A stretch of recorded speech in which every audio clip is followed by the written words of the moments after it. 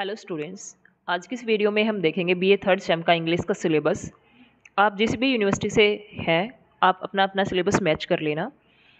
First जो दिया गया है वो है पोइट्री पोइट्री में है sonnet 18 by William Wordsworth know then thyself elegy written in a country churchyard the world is too much with us ode on a Grecian urn my last duchess when you are old when the where the mind is without fear another woman the bangle sellers सबसे आसान और सबसे अच्छा semester होता है poem poems बिल्कुल छोटी छोटी और बहुत ही अच्छी अच्छी पोएम्स हैं आपके, जो अब की बार का जो सिलेबस है उसमें।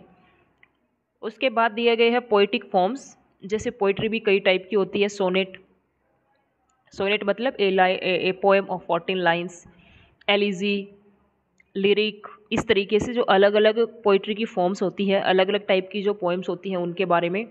और लिटरेरी डिवाइस दी गई हैं, जैसे एलिट्रेशन है मेटाफर है सिमिली है, जिसको अलंकार बोलते हैं हम हिंदी में, वो भी। प्रीफिक्स और सफिक्स जैसे पॉइंट्स हैं, उनके बाद में जो विकैप दी गई है, उसमें दे रखे हैं। Prefix suffix clauses non finites synonym antonym verb का पैटर्न दे रखा है प्रेपोजिशन है ऐसे राइटिंग है, और एक है फनेटिक ट्रांसक्रिप्शन फनेटिक ट्रांसक्रिप्शन ये सारी जो वीडियोज़ हैं, वो इस चैनल पे अवेलेबल हैं। B A third sem playlist में। और कुछ स्टूडेंट्स का अगर इसमें सिलेबस मैच ना करता हो तो वो बी ए फोर्थ सेम की जो प्लेलिस्ट है, उसको चेक करें। उसमें भी कई सिलेबस, जैसे थोड़े बहुत यूनिवर्स कुछ यूनिवर्सिटीज़ का थोड़ा बहुत सिलेबस चेंज हुआ है तो आपको, आपके सारे टॉपिक्स जो हैं, वो बी ए फोर्थ सेम में मिल जाएँगे।